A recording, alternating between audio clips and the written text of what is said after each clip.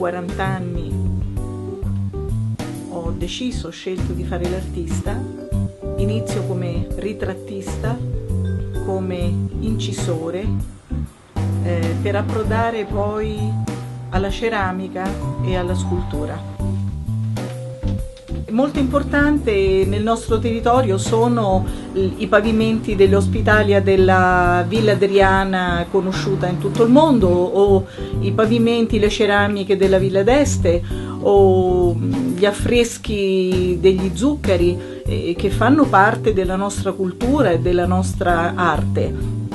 E, e quindi nel mio laboratorio cerco di, di poi portare, trasportare questi elementi in eh, tavoli, in ceramiche, in eh, sculture, in ehm, oggetti d'arredo come piatti, lampade e, tutto quello che concerne proprio l'arte arredo. E è una parte di storia, di storia antica che però è sempre attuale perché è di altissimo eh, livello.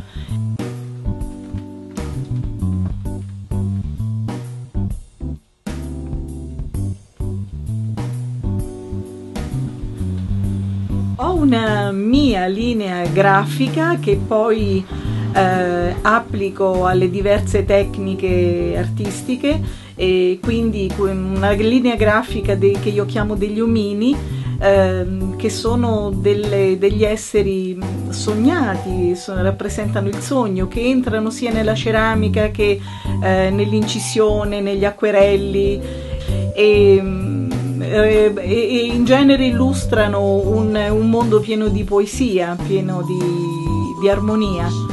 E, e quindi questo elemento grafico si ritrova nei servizi di piatti, nelle lampade, eh, nei pavimenti di ceramica, anche se sono quelli dell'imperatore Adriano, e, e sono poi in tutte le, le rappresentazioni, in tutte le, le tecniche che porto avanti nello studio.